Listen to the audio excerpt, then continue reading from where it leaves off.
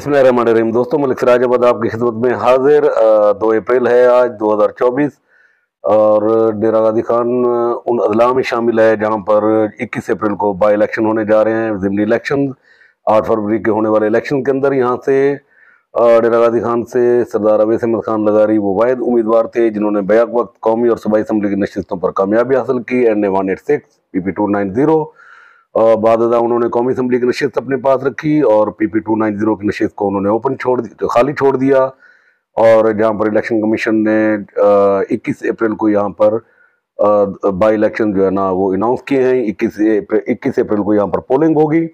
अब तक यहाँ पर उम्मीदवारों ने जो कागजात जमा कराए हैं, उनमें पाँच उम्मीदवार हैं, लेकिन इसमें से जो एक, पिछली दफ़ा जो मुकाबले में थे, सरदार मोहुद्दीन खान खोसा, वो उनके कागजात मुस्तरद हो गए हैं और वो उस सिलसिले में सुप्रीम कोर्ट गए हुए हैं। अभी तक उनके कागजात की बहाली का आ, कोई चांस नज़र नहीं आया। तो इस वक्त तक जो निशान इलाट हुए हैं उनमें बुनियादी तौर पर आ, सरदार अली खान लगारी अली यूसुफ खान लगारी पाकिस्तान मुस्लिम लीग नून की तरफ़ से उम्मीदवार होंगे। ये सबक M P A Sardar Yousuf Khan लगारी के साहिबजादे हैं और सरदार अवैस अहमद खान लगारी और लगारी कबाइल के चीफ सरदार जमाल खान लगारी के ये भांजे हैं। और दूसरे नंबर पर वहाँ पर जो पाकिस्तान तहरीक इंसाफ की हिमायत याफ्ता और सुन्नी तहत कौंसिल की तरफ़ से जिनका टिकट जमा कराया जमा कराया गया है, वो मार सजाद छीना है। दूसरे उम्मीदवार वो हैं, तीसरे नंबर पर पाकिस्तान पीपल्स पार्टी के मुनीर अहमद खान जलबानी बलोच, उन्होंने कागजात जमा कराए हैं, एक आज़ाद उम्मीदवार हैं, गुलाम सरवर दिलशाद डमर और एक महमूद महमूद खान नगारी भी हैं।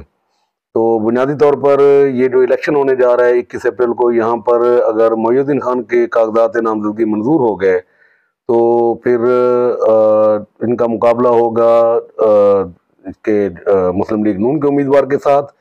और अगर उनके कागजात नामजदगी मंजूर ना हुए तो फिर यहाँ पर सुन्नी ताज कौंसिल की तरफ़ से तहरीक इंसाफ की मैद याफ्ता मार सजाद छीना वो मुकाबले में होंगे अली यूसुफ खान डगारी के। अब तक की जो सूरत हाल है, उसमें यह है कि एक चीज़ तो आपको जहन में होनी चाहिए कि मैंने पहले भी एक दफ़ा एक जगह ज़िक्र किया था कि 2018 के इलेक्शन में भी इस नशिश के ऊपर मोहुद्दीन खान खोसा और महमूद कादर खान नगारी के दरमियान बहुत क्लोज फाइट हुई थी और कमोबेश दो एक हज़ार वोटों का फ़र्क था। मोहुद्दीन खान खोसा ये सीट जीत गए थे। मुस्लिम लीग नून को शिकस्त दी थी उन्होंने, वो पाकिस्तान तहरीक इंसाफ के टिकट के ऊपर थे। दो हज़ार चौबीस के अंदर भी इस सीट के ऊपर एक दफ़ा फिर कंपटीशन पड़ा और इस दफ़ा सरदार अवैस खान नज़ारी ने बहुत थोड़े मार्जिन के साथ ये नशस्त जीत ली और मोहिद्दीन खान खोसा ये सीट हार गए।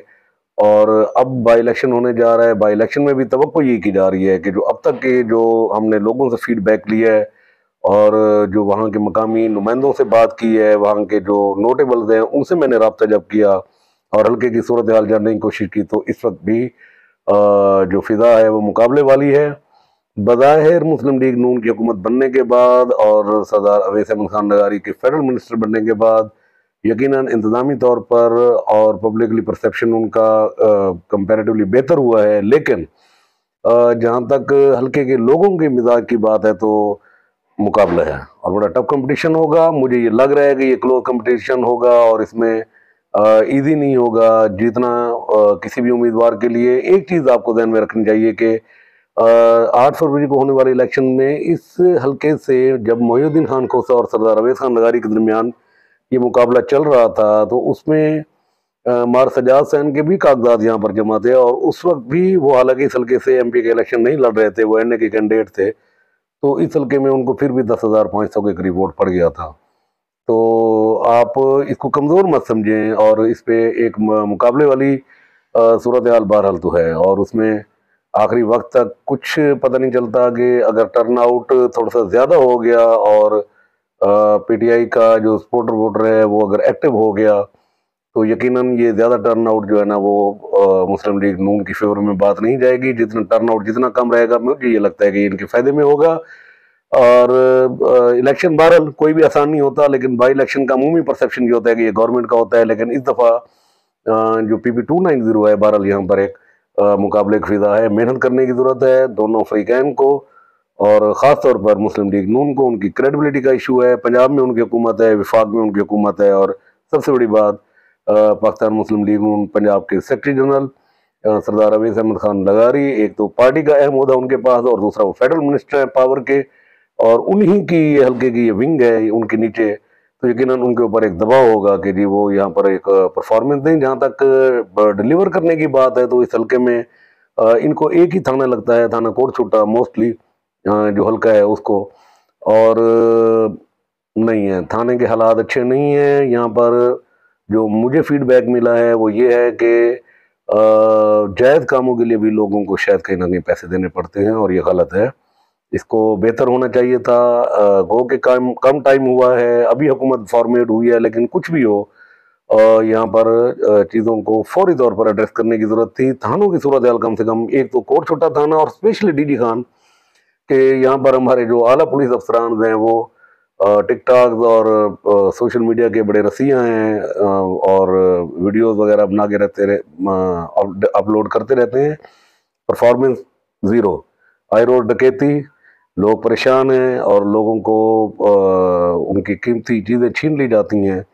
और कोई सवाल जवाब नहीं है। मैक्सिमम यही होता है कि किसी एस को इधर से उधर कर दो, इधर से उधर कर दो। लोग खामोश कहेंगे, चले नहीं शायद कुछ बेहतरी हो गई है।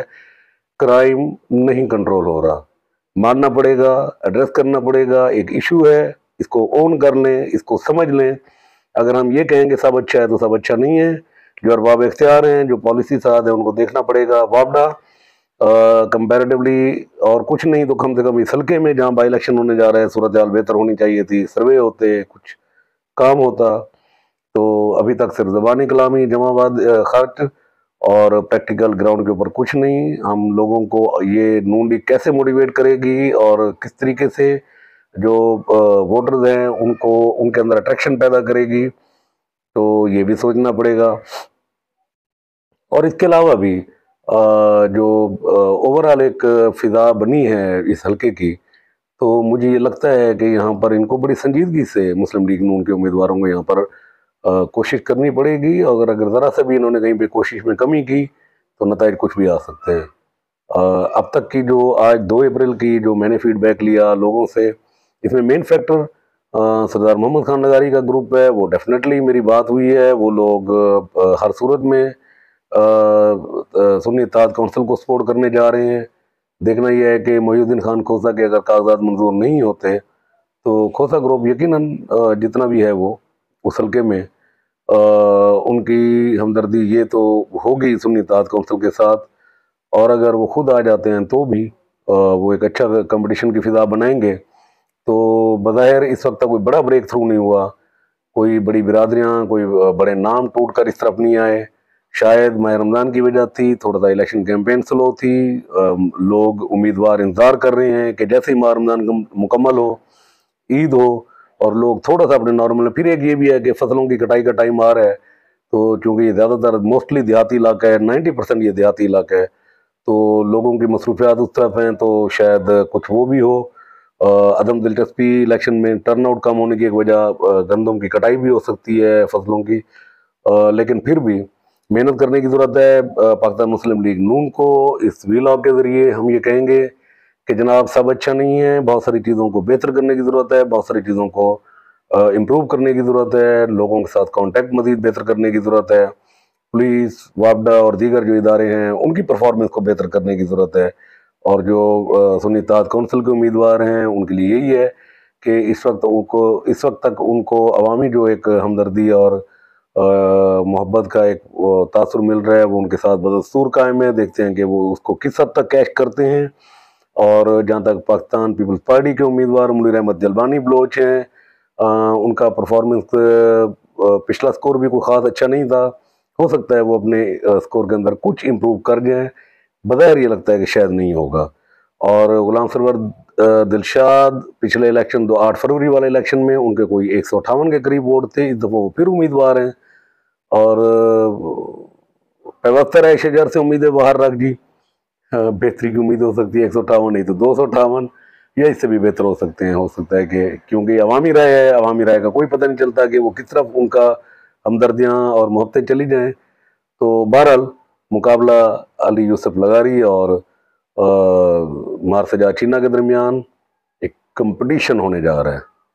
अपडेट करते रहेंगे आपको साथ साथ और उसमें जैसे जैसे हल्के के अंदर ईद के बाद पॉलिटिकल डेवलपमेंट्स होंगी, हम आपके साथ शेयर करते रहेंगे। एक इलेक्शन है फोकस करते हैं, देखते हैं कि यहाँ पर क्या नतज जाते हैं कि नून लीग किस तरीके से सर्वाइव करती है और जो कप्तान के खिलाड़ी हैं, वो किस तरीके से अपने जो है ना खिलाड़ियों को एक्टिव करते हैं। इंशाल्लाह नेक्स्ट वीडियो में आपकी खिदमत में दोबारा हाजिर होंगे। तब तक के लिए इजाज़त, अल्लाह हाफिज़।